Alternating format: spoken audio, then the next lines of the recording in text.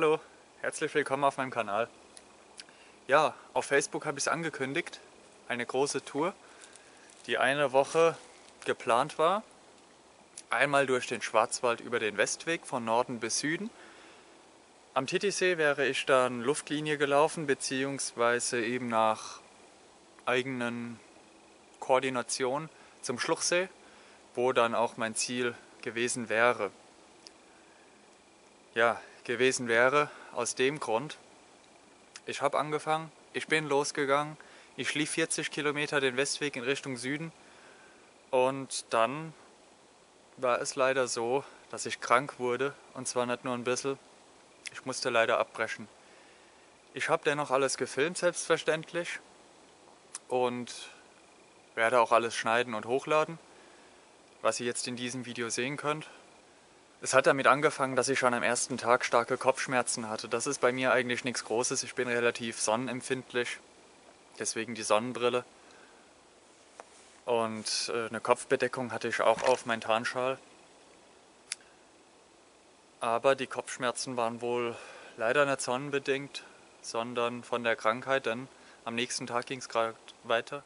Kurz nachdem wir die Quelle fanden, über die ich auch ausführlich berichtet hatte, äh, spürte ich deutlich, dass ich Fieber bekomme. Wir hatten nachts ziemlich heftiges Wasser getrunken. Wir mussten, äh, weil keine Quelle, die auf dem GPS bzw. auf der Karte verzeichnet war, Pfützen Wasser aufbereiten. Und daran lag es auf gar keinen Fall. Ich hatte schon zwei Tage davor Halsschmerzen. Die Halsschmerzen habe ich heute noch. Und das Ganze ist jetzt zwei Wochen her. Ich hatte noch einen Kumpel dabei. Wir haben alle das gleiche gegessen, wir haben alle das gleiche getrunken, wir haben alle das gleiche gemacht und nur mir ging's elend. Was heißt, ich hatte die Krankheit schon bevor ich aufgebrochen bin und die Krankheit brach dann eben aus, als ich im Schwarzwald war. Ich habe mich höllisch geärgert, wirklich. Ich war sehr, sehr enttäuscht.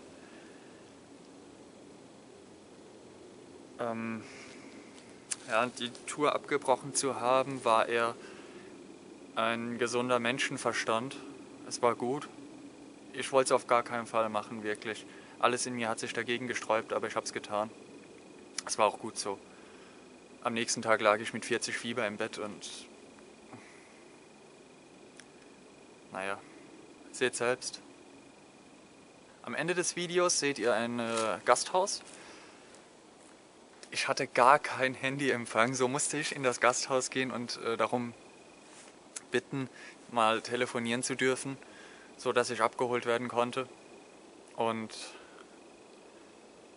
die waren auch alle sehr freundlich da, das ging ohne weitere Probleme. Sehr gut. Und dann, naja, ich hatte eigentlich alles, das ich jetzt gerade sagte, in der Szene sagen wollen. Aber mein enttäuschter Blick sagt, glaube ich, alles. Ich konnte, was hätte ich dazu sagen sollen? Ich war einfach, ich habe mich so gefreut und dann das. Es tut mir auch für euch leid. Ich habe es groß angekündigt, habe mich gefreut und bam, vorbei. Aber aufgeben ist nicht. Ich habe vor, nächstes Jahr spätestens die Tour zu wiederholen was vielleicht ein bisschen krass ist, äh, diesen Winter. Das bleibt vermutlich nur eine Idee. Mal sehen. Spätestens nächsten Sommer der Westweg. Ich werde viel trainieren bis dahin. 30 Kilometer pro Tag mit viel Gewicht. Und da könnt ihr euch drauf freuen. Dass zweimal so ein Mist passiert, halte ich für unwahrscheinlich. Ich bin schon wieder sehr motiviert.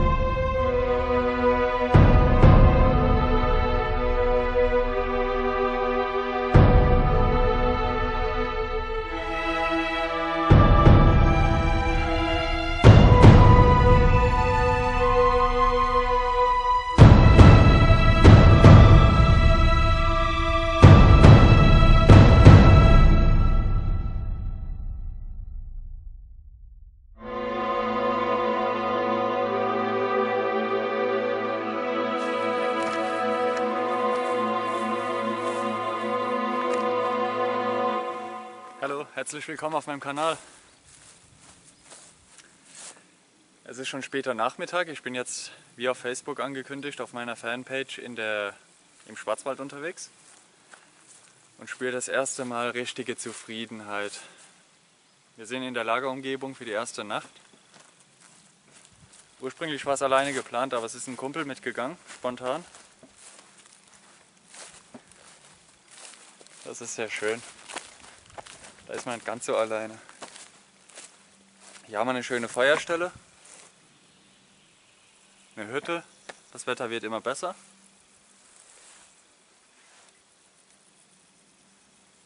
Wir gucken jetzt mal nach Wasser und Nahrung, bauen dann unser Shelter auf. Dann melde ich mich wieder. Ich habe schon ein paar Mal gesehen, dass es gewittern soll. Ein Wanderer ging gerade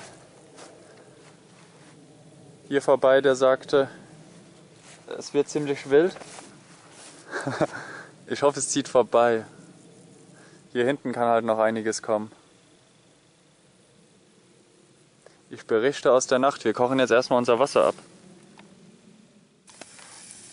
Okay, das Wasser kochen wir ab. Das Endprodukt ist gelb wie Apfelschorle, aber es schmeckt ganz okay und es ist abgekocht und gefiltert. Es ist schwer hier Wasser zu finden, sehr schwer. Morgen Abend sind wir an einem See, da geht das eigentlich mit dem Kochen.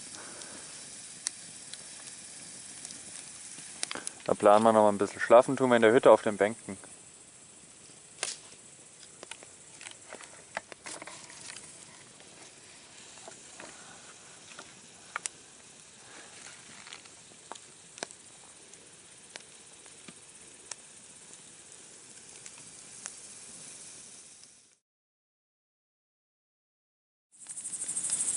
Meiner Meinung nach das schönste Feuer, das ich je gemacht habe. Oh, die Augen brennen. das Wasser kocht schon ein bisschen am Rand. Das ist jetzt mittlerweile schon die zweite Ladung. Ich habe eben nochmal geholt.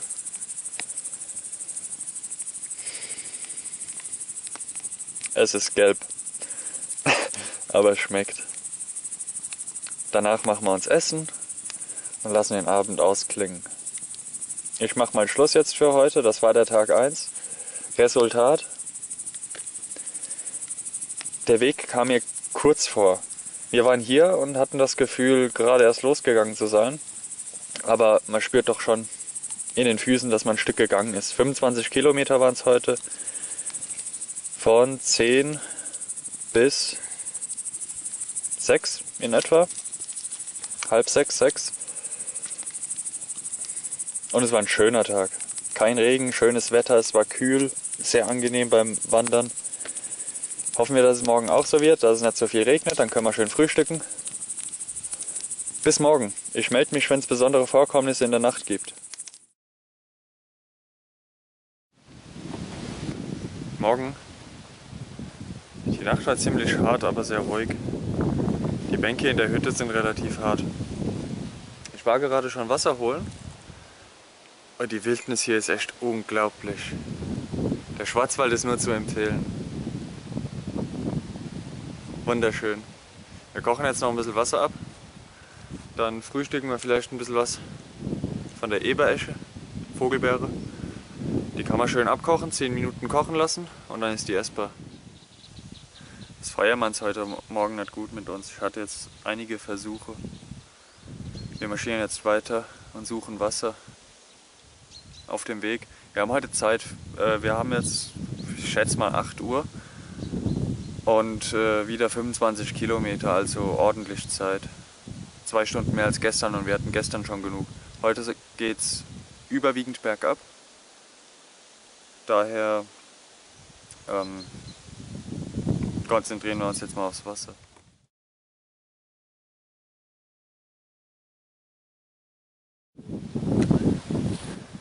Geil, wir verlassen nun das Lager, marschieren weiter auf dem Westweg. Immer Richtung Süden. Alles wird natürlich so zurückgelassen, wie es auch gefunden wurde.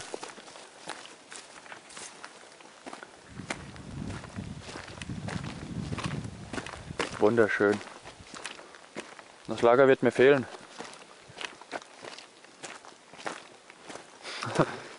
auch wenn die Wasserversorgung miserabel war. So, hier geht's weiter. Das war ein schöner Tagesanbruch. Ich kann auch immer nur wiederholen, wie schön die Natur hier ist. So ist es nicht im Odenwald oder in der Pfalz oder sonst irgendwo. Es ist alles so dicht bewachsen. Ich bin immer wieder fasziniert. Macht richtig Spaß hier.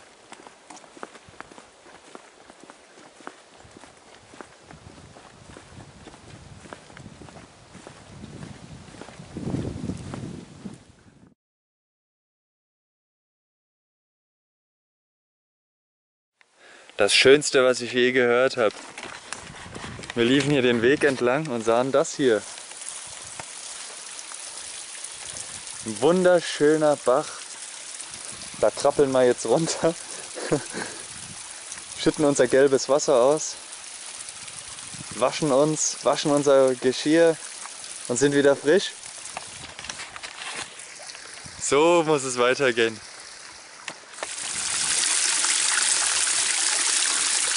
Da kommt das Wasser oben aus der Quelle. Das ist eiskalt, frisches, klares Wasser.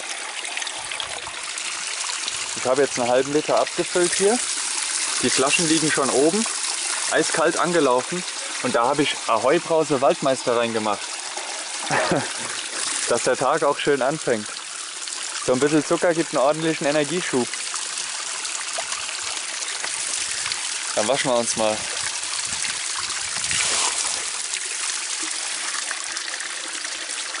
Herrlich.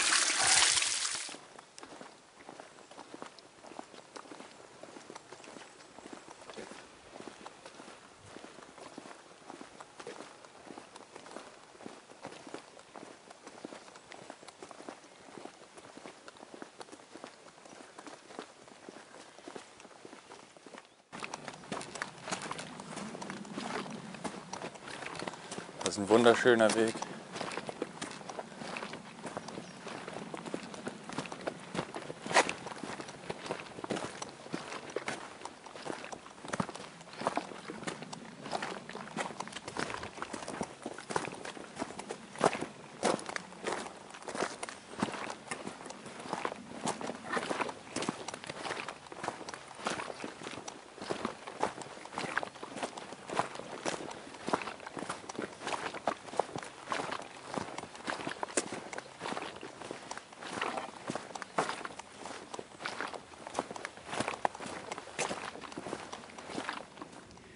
Sind überall am Wegesrand solche kleinen Türmchen aufgebaut.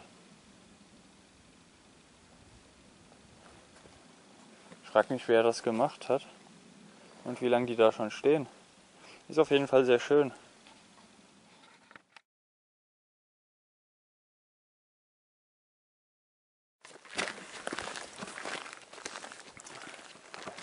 Kurzes Update, wir haben jetzt 14, äh, halb zwei haben wir.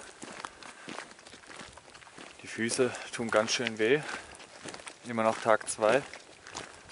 Und wir haben gerade auf einer Wiese kurz gelegen. Ja, kurz, vielleicht eine Stunde bestimmt. Uns ausgeruht. Wir gehen jetzt einfach mal weiter. Man spürt schon die Muskeln. Die Motivation ist auch ziemlich im Keller. Wir müssen einfach weitergehen.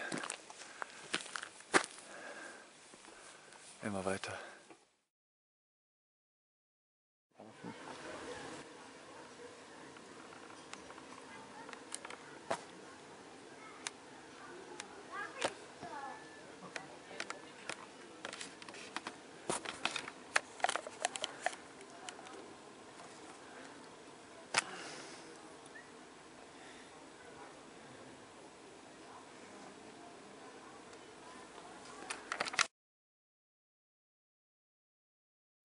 Ja, das war's. Es war eine wundervolle, aufregende Tour. Auf jeden Fall eine Wahnsinnserfahrung. Es hat so viel Spaß gemacht. Genau wie ich es mir erhofft hatte. Ich weiß gar nicht, was ich dazu sagen soll. Der Schwarzwald ist so wunderschön. Ich Ich muss aber auch sagen, es gibt viele Menschen, die sagen, Deutschland Wildnis niemals, nein, alles weg, alles ausgerottet. Die äh, Wälder sind noch viel zu äh, ja, mit Wegen durchwachsen, sage ich mal. Der Schwarzwald ist wunderschön, wirklich mit nichts zu vergleichen. Mein Lieblingswald war immer die Pfalz. Ich war als Kind auf dem Schwarzwald, aber die Natur des Schwarzwaldes habe ich noch nie so betrachtet wie da. Es ist wild, man kann den Weg kaum verlassen, weil alles wirklich dicht bewachsen ist. Wenn man mal vorhat, äh, irgendwo reinzulaufen, so wie hier, da muss man ordentlich aufpassen. Die Sumpfgebiete, die dichte Vegetation, es war wirklich. Es war schön. Ein bisschen wie in dem Film Into the Wild.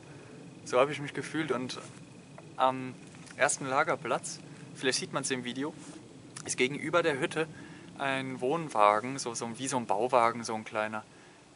Als ich den das erste Mal sah, ich lief auf die Lichtung, auf die Kreuzung und da stand dann der Wagen, da dachte ich nur, Into the Wild. Hier ist unser Lagerplatz. okay. Danke fürs Zusehen. Wir sehen uns im nächsten Video. Ich hoffe, es hat trotzdem Spaß gemacht.